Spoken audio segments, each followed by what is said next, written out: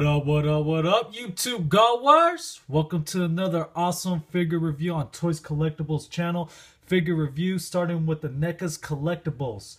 Wasp Predator. Wow. I mean, NECA came out with some new Predator figures this year for the new line, and it is wow. This is one of my favorite Predators so far. I'm so impressed with this figure, and I'm really speechless about Wasp Predator. And you know, I never heard of this Predator before, but you know, just looking at this figure is just wow, badass. Um, the spear he has with the alien's head on here, priceless. I mean, wow, the sculpting of the Predator having the alien's head on his stick on his spear is just wow, really cool. The detailing is just so immaculate. Wow. So speechless. I mean, look at this. I mean, his whole body's like black and yellow, and he kind of looks like a, a bumblebee if you think about it.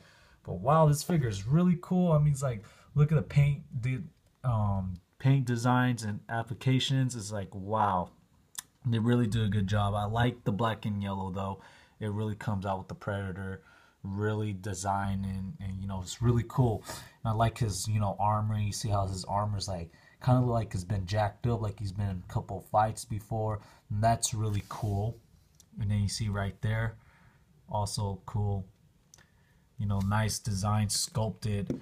You know, figure. You know, nothing wrong with it. And then his dreadlocks. You know, the black and yellow like all the other predators have. You know, his armor is pretty much the same like all the other predators of the videos I've been doing. Really cool. And his bread, his dreadlocks do, or dreads do move, so you could like spread them out to, you know, make them roomy, or you just have them all together up close. And then, um, yeah, he comes with a fanny pack. I call that fanny pack, but he, you know, come with that you know this figure is very flexible figure and i'm really impressed with this figure you know a lot of people say they don't like this figure because it's too bright or it's an ugly color i mean in my opinion it's a very awesome figure i got it for a good price too his head does turn to the right does turn to the left but his head does not go all the way up like it should but it's still a good figure but he doesn't have no ab crunch, but he has a waist swivel. Look, he can hit you with this. Wah bam, wah bam, wah bam. Mess with me, he's like fun a little bit with this figure.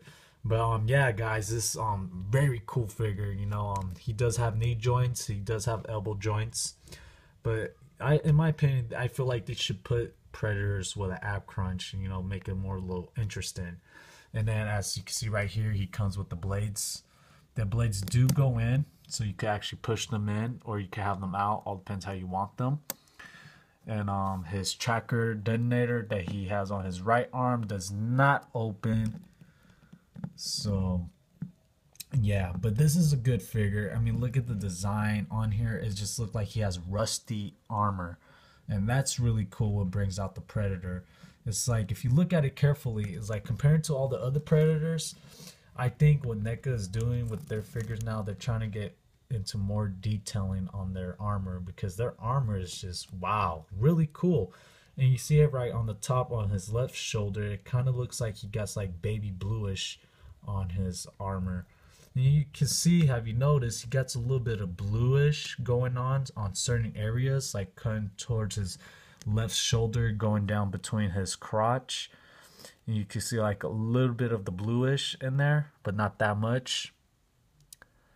And then his helmet actually has like a different color design actually too. It's like a dark, brighter, kind of dirty color, yellowish color going on. That's kind of, but it's still cool figure. I like it. You know, it's very cool figure. Wow, so detailed. But sometimes you gotta be careful with these figures because when you take them out of the package, they tend to have to get scraped or you know scratched. And as you can see right there, my camera could focus. It got a little scratch right there. I don't know if it was a scratch or dry paint left over from the figure being done, but to me it looks like a scratch. But at the same time, I could be wrong. It could be dry paint. Same thing right here. So, you know, that's like I said, I can't really tell if it's a scratch on there or is it a dry paint. All I could tell is it looks like it's dry paint. But at the same time, it's still a good figure. I'm happy with it and I love it. You know, my rating for this figure, I'll probably give it a 10 out of 10. And like I said, you guys are Predator fans, go get yourself one because it's awesome.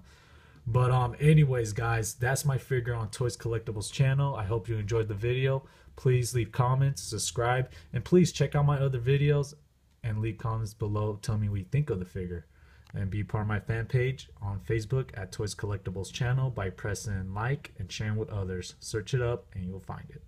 But anyways, guys, hope you enjoyed the video, and I'll see you on the next. Peace.